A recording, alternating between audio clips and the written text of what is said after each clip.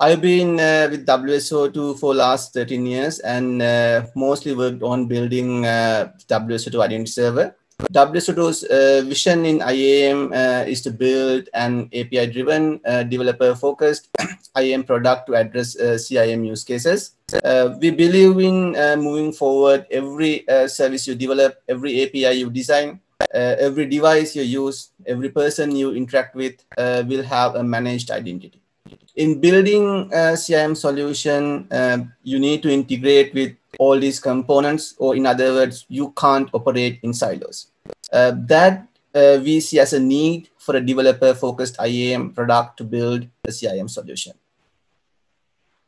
Identity Server is an open source IAM product uh, released under Apache 2 license, uh, just like any other WSO2 product. Uh, at the moment, uh, we have 200 plus paid production customers and 500 plus educational institutes using Identity Server globally. Uh, that's in addition to 1000 plus completely open source deployments with no WSO2 subscriptions. I would say 90% uh, of Identity Server deployments are customer facing, addressing CIAM use cases across multiple verticals, including financial, government, healthcare, uh, education, automobile, retail, and, and many more. We have a very active uh, Slack community. So if you have any questions related to the product, we invite you to join our Slack channel. Uh, the entire Identity Server team is uh, on it to uh, help you. With that little background uh, with respect to the product, I believe we'll qualify as a well-established vendor in the IAM domain to talk about CIAM the major goal of CIAM is to drive the revenue growth by leveraging identity data to acquire and retain customers. It will build an uh, identity-centric ecosystem to nurture an anonymous uh, website visitor into a well-known loyal customer. We have come across uh, multiple phases in the past, and today at the age of customer, identity has become the glue for all contextual marketing in doing that, in our uh, journey towards CIAM, we face multiple challenges. In a, in a typical workflow, uh, many follow to onboard a customer. We start with an anonymous website visitor, then nurture this anonymous website visitor to a lead and to a qualified lead and finally to a customer. There can be uh, multiple variations uh, of this flow and we could be using multiple channels to onboard customers. Then uh, when we have multiple channels, multiple points of connections and data sources, that lead us into another problem. Data related to the anonymous users may reside under marketing data sources, uh, data with respect to leads and sales might uh, be under CRM data sources, and the identity data of customers would be under the IAM system. So uh, with this approach, we'll end up having siloed data sources. And those siloed data sources may not know how to talk to each other. 52% of uh, marketing uh, leaders responsible for data and analytics believe data integration and uh, data management are the most time consuming activities. And also over one third of marketers say their inability to integrate data is the biggest obstruction to the success of the analytics team. This is, this is a real challenge which we need to find a solution to. Then uh, protecting consumer data at large scale. Unlike in uh, workforce IAM, in a typical uh, CIAM system, we work with millions of users. So we need to worry about how we securely store the PII data of these users and preserve privacy. This is another challenging area we need to worry about. When we build a CIAM solution to address these challenges, these are the core functional requirements we need to worry about all of them are very much uh, self-explanatory, so I won't go into the details. Then again, uh, what matters most here is how you build these core CIAM features while addressing some of the key non-functional requirements, which we call as five pillars of CIAM. What you, uh, your customers and your partners experience is the tip of the iceberg. So that's the experience your CIAM solution is building. Underneath, to uh, build the right level of user experience, you need to worry about these five pillars. Scalability is one of the key requirements in any CIAM system. Unlike in uh, workforce IAM, in, in CIAM, the difference between the average load and the peak load is considerable. So in a traditional way, if you provision your hardware to address the peak load, you'll end up wasting a lot of your resources. In uh, one of the financial institutes we worked with, uh, they were building a CIAM solution uh, for over 1.5 million customers. On an average day, they expect 350,000 logins, having uh, daily peak times around 9 to 10, 12 to 1, and 3 to 4 p.m. So uh, if we assume uh, 300,000 users will log into the system during uh, this three hours peak time, the expected load per minute would be around 1,700 users. But uh, in two days every month, they expect 5,000 logins a second. So that is uh, 300,000 users per minute.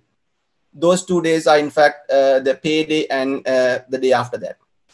So the average load is uh, 1,700 logins per minute, while the peak load is 300,000 logins per minute. That's a huge difference between the average load and the peak. So just having the ability to address scalability needs is not just enough. Your CIAM system should know how to auto scale up and down based on the demand. Then the security if you handle any customer data, the security should be one of the topmost priorities. You would need to worry about how your CIAM system stores and processes PII data. And also, uh, uh, from the customer's point of view, they do expect some control around how you collect, store, manage, and share their personal data any misuse of customer data, whether deliberate or not, can significantly damage uh, the brand equity. Yahoo, for example, was in uh, the middle of a series of data breaches a few years back that exposed the PII data of more than 1 billion users. That did cost the company 350 million USD. They had to uh, lower the sales price of uh, its email and uh, the other digital services which they sold to Verizon from uh, 4.83 billion to 4.48 billion to account for uh, the potential uh, backslash from the data breaches. Usability is another key aspect. There are three types of users who need access to your CIAM system. Your customers, uh, some of your employees, and the partners. The customers demand low friction access uh, both during uh, the login flow and during the registration flow. Then some of your employees like uh, the help desk administrators or the CXOs. Uh, CXOs especially would uh, expect your CIAM system to build dashboards to give a better business oversight. Then comes the extensibility. So both the extensibility and the developer focus go hand in hand.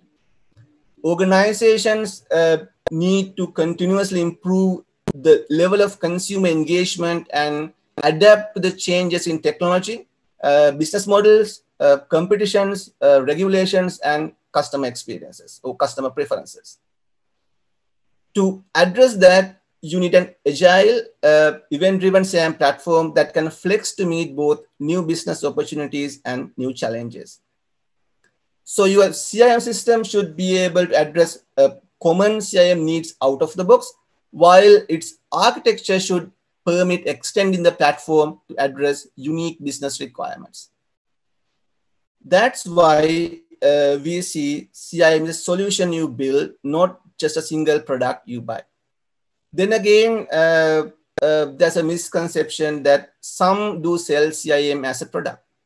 If you are familiar with ESB or the, uh, the enterprise service bus, this is quite similar to how some sold ESB as SOA or uh, service-oriented architecture probably a decade back when SOA and ESB were quite popular.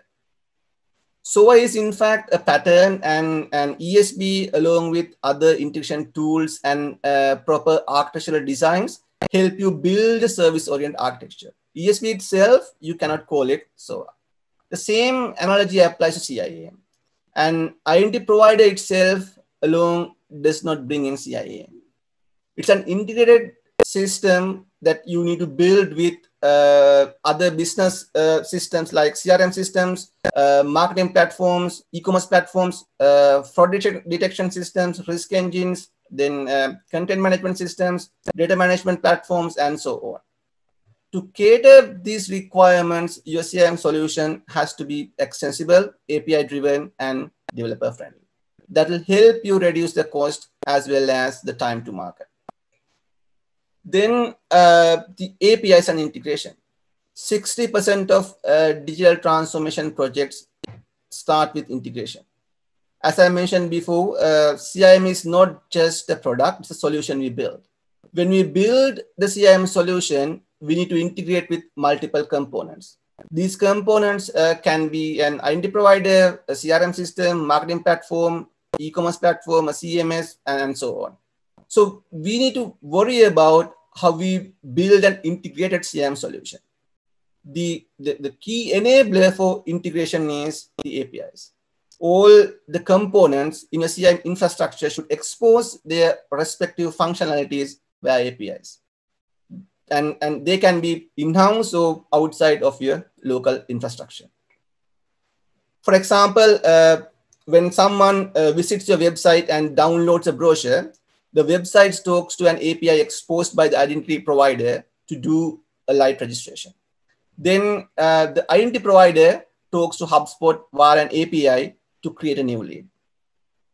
And uh, uh, while onboarding a customer, uh, the identity provider talks to an identity verification service via an API. And upon uh, successful verification, the identity provider may call HubSpot to upgrade the lead status to customer and may also call uh, Salesforce via API to create a customer record.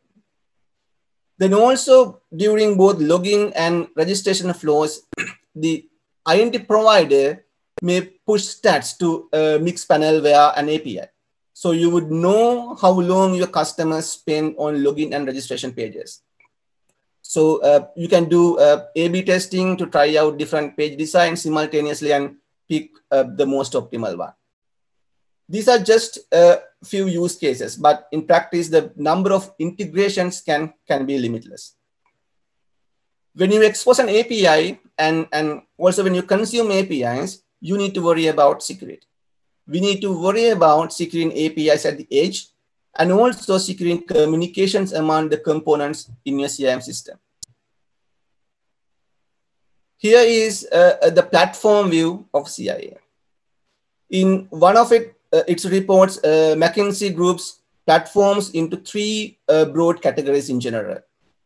Let's see how this platform view is applicable to CIAM uh, with respect to what we discussed so far. For example, uh, in CIAM, uh, the customer journey platforms cover the customer experiences of signing up, logging in, um, associating social accounts, account recovery, consent management, and so on. The business capability platforms worry about uh, customer relationship management, uh, customer data management, uh, preference management, business analytics, and, and so on. Then uh, the core IT platforms provide the shared technology on which the customer journeys and, and uh, business capabilities run.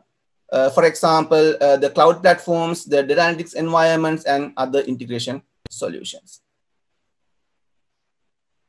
over the time, uh, we have spoken to hundreds of customers and probably thousands of leads. From all those conversations, uh, what we have learned is different customers are at different levels of maturity in building a CIAM solution. Some even don't know they are doing CIAM. Most businesses do start with level zero or at non-existent maturity level. At this level, uh, you don't worry about tracking any customer interactions. Probably uh, you don't have an online portal and uh, probably you don't do any sales online. In case you have an online portal, uh, you may use it only to share your product and uh, contact information and would not expect any dynamic customer interactions. Probably uh, you may use systems like Viber, WhatsApp, or uh, a phone line to accept orders, but still uh, you don't worry about tracking who places which order. Many restaurants, uh, taxi services, uh, retail stores, and family businesses follow this model at the start. When you uh, walk into a restaurant, no one knows about you. Even if it's the same restaurant, you are going back again and again. Each time uh, you need to pick where you want to be seated and what you want for the meal. Same applies for taxi services uh, other than uh, Uber and Lyft. Whenever you order taxi, you need to share the address you need to go and uh, you can't just say drop me home or drop me to the office. At level one or uh, the managed identity phase, you only worry about onboarding your customers to the system and digitally manage their identities. Even under level one, uh, the emphasis uh, different companies put on uh, how they want to manage their customer identities varies. One may only worry about uh, onboarding customers via an online portal and then uh, let them authenticate the system via username and password. Another company would worry about integrating with social IDPs for registration, uh, enabling uh, strong authentication options with adaptive authentication, integrate with risk engines, do identity analytics, and so on.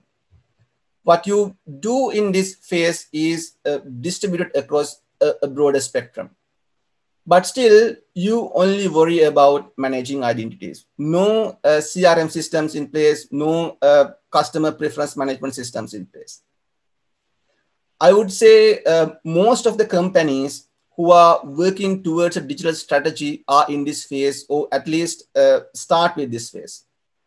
Then again, the question is how long you want to be in this phase.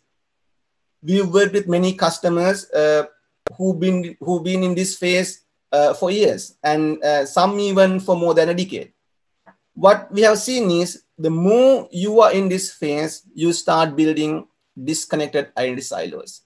You may use a federation between applications and an identity provider, but still uh, will end up having multiple federation silos, probably by different departments. Each department may have its own identity store and identity provider, which will result in duplication of identity information across the company. Level two is one uh, step forward from the managed identity phase.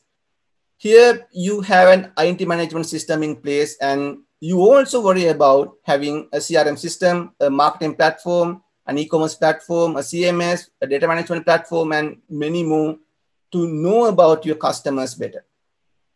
One deficiency we see in the companies in this phase is even though you collect customer data at different contact points, the data sources are still disconnected and does not help in building a unified profile for a given customer. When you want to generate a report across multiple data sources, uh, that would require high labor intensive process with human involvement. And even in uh, some cases, you may fail to find a correlation among different data sources. This is, in fact, the phase we see a company would start worrying about a CIAM system. Once you are in this phase, you'll understand the benefits of building a unified view of a customer. And at the same time, you'll start realizing the deficiencies in your current system that prevent you from getting there. Level three is the connected phase. This is the phase where you start integrating your IAM system with your CRM system, marketing platform, e-commerce platform, CMS, data management platform, and, and others. This helps in building a unified view of your customer. So you can see how long it took to nurture an anonymous lead to a loyal customer. Progressive profiling is uh, one of the key elements of this phase. When you onboard a customer, you only request a minimal set of information. But as he or she starts using the system, the system will start learning more the system can learn more from the user's behavior or else directly ask from the user for inputs. Irrespective of how uh, the system learns about the user, it will feed those data into the IAM system using an API. This helps the IAM system to make much informed decisions with respect to uh, the user's actions, as well as share a unified profile of uh, the user among all the applications. Another uh, advantage uh, you see in integrating uh, IAM with other business platforms is uh, you can track the customers across multiple platforms or across multiple devices most of the marketing platforms track users by cookies. So uh, when you use cookies, you can't track users across multiple devices. But having your marketing platform integrated with the IAM system helps you identify user interactions across devices. This is one reason um, I would say arguably why Google introduced Gmail. Uh, you are always logged into your Gmail account or indirectly to your browser. So Google can correlate your search patterns with your identity and uh, they can do that across all the devices. Then Apple ID probably introduced for the same reason. Uh, when you use Apple ID, Apple knows uh, which apps you use from your mobile device as well as outside of your mobile device. To uh, build a CIAM solution in this phase, you would need more than an identity provider. You need to worry about integrating systems, exposing data as APIs, managing uh, those APIs, and, and many more. This is uh, why we see uh, many customers in this phase work with system integrators to build the CIAM solution if they don't have a strong development team in-house. Finally, uh, the level four or the optimized phase. Omnichannel access is a key feature we see in the companies who operate at this level.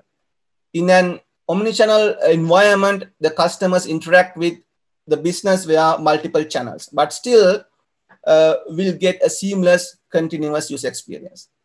If you are an Amazon customer, you can place an order via its website, uh, mobile app, Alexa, or via Kindle.